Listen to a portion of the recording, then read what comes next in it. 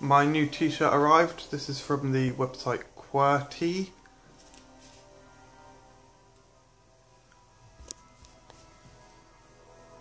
says hooked on a feeling. And it's got the awesome mix. Volume 1 cassette. I just farted. Don't know if you heard. Sorry if you're offended by that. Uh, logo image cassette tape from Guardians of the Galaxy I've got another similar shirt coming not sure if it's going to arrive in time for Florida though which is one week away so Qwertee good shipping times better in comparison to TeeFury because these were bought uh, one day apart actually so technically to match it, TeeFury would have to arrive tomorrow. We'll see, we'll see. I'm interested to find out.